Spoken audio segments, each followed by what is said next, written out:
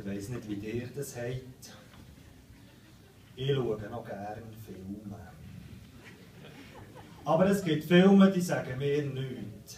Gewisse Genres sind mir zu rüd, gerade da das blutrünstige Zeug. Durch mir sind für andere Leute.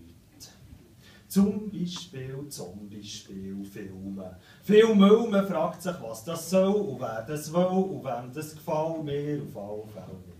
Dabei ist das eine Riesenindustrie, das Zeug muss hungern wie ein Mohren. Von diesem Genre gibt es sogar Subgenre. Zombie-Dramas zum Beispiel, wo die soziale Komponente von so einer Epidemie in den Vordergrund gerückt wird. Dann gibt es da die blöden Zombie-Komödien, wir öden die an, da töten die ja, wie wenn das etwas Lustiges wäre. Nazi-Zombie-Filme, als wäre das eine oder das andere für sich nicht schon schlimm genug. Filme mit Zombie-Tieren, Filme mit Zombie-Kindern, Zombie-Teenie, Liebesfilme, sogar Zombie-Pornos gibt's. Kein Witz. Vorletzt habe ich gleich mal so einen Zombie-Film geschaut. Flüme hat nicht mehr rühmen. Den müssen wir gesehen haben. Gut, man muss gesehen haben, Flüme ist jetzt nicht gerade ein Koryphäe, was guten Geschmack anbelangt. Dafür kann er aber schon mitreden, er sieht selber ein aus wie ein Zombie, ähnlich gläsiger Blick, angeblich wegen einer Blütenstauballergie. Da, irgendwer wissen, was für Blüten. ähnlich schlechte Zähne, ähnlich schlechte Tang und macht auch ähnliche Geräusche.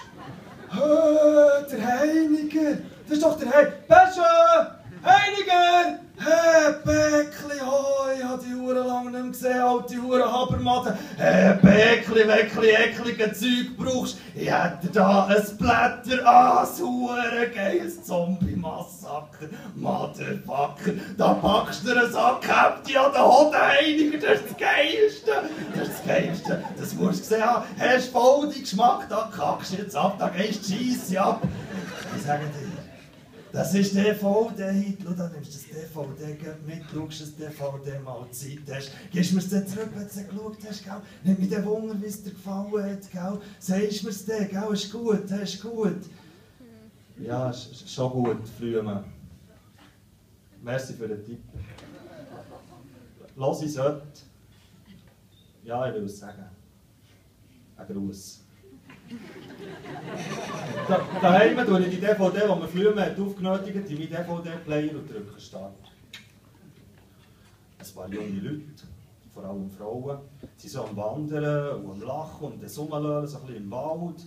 Und alle sehen gut aus und Blumenduft und Sex liegt in der Luft. Und dann kommen sie so nach Walzen und so, uh, yeah, komm, wir gehen baden. Und dann ziehen sie sich alle ab, fütteln Blut und gehen baden. Und ich denke so, oh.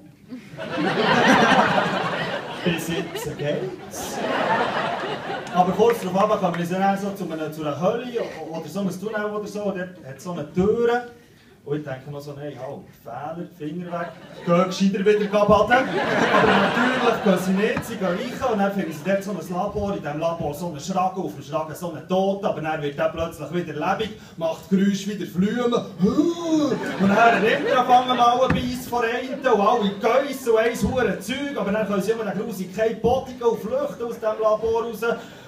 Und, und die, die es besser geworden sehen, das schon gerade nicht mehr so gut aus so ein bisschen bleich ist sie und käsig und sie tut mir auch ein leid und es nimmt mich dann schon Wunder, ob es ihr später wieder besser geht. Ich drücke mal ein paar Kapitel Voilà, Zusammenhang verloren. Szene in einem Motelzimmer. So ein Typ nur mit Unterwäsche, aber hure schwer bewaffnet, steht im Fenster und blüsselt so zwischen den Störchen raus.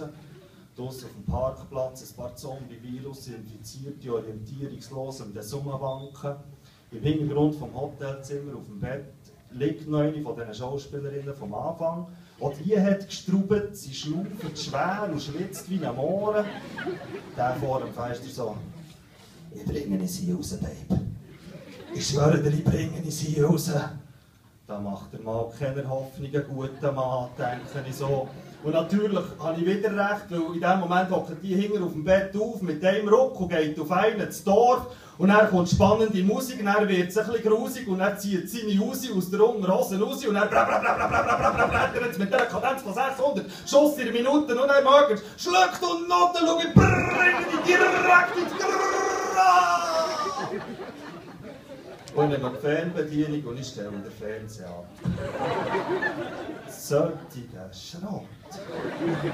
Dann gehe ich liegen, ich schlafe schlecht, weil ich träume schlecht. Eine Horde Zombie-Models und der Flüme nur in den Unterhosen verfolgen in meinen Träumen und wollen mich alle beißen.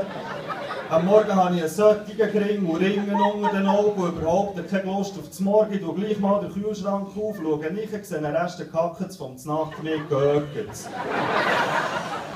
Nach Kaffee, Zigarette und Aspirin wird es nach bis nach besser. Ein bisschen später nehme ich am Flümen sein DVD zum DVD-Player raus und gehe sie Köder. Der Sieg muss gar nicht meinen. Schließlich hat mir der Whale Rider und Titanic auch nie zurückgegeben. Merci